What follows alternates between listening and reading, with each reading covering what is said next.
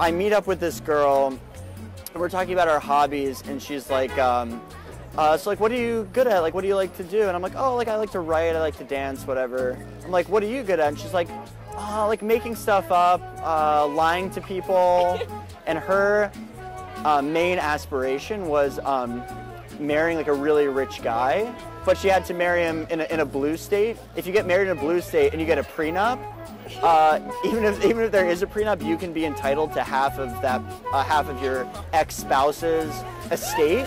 And so she wants to marry like a super rich guy in a blue state, so she could so basically she could cash in to fund all the plastic surgery that she wants to get. So then she was talking to me like, my stepmom has like tons of plastic surgery. I think that's like why my dad married her. Um, and just basically talking about how she could get the prenup so she could get just tons and tons of plastic surgery.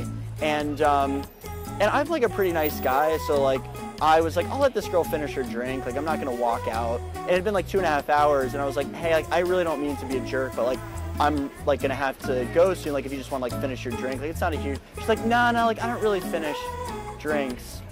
And uh, How did you meet her?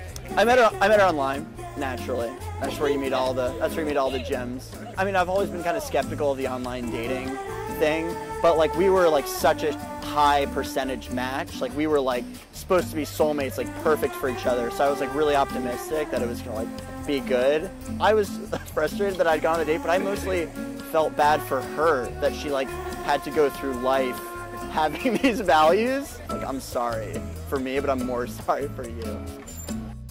Dates from Hell. All new season. Fridays at 10. Only on Investigation Discovery.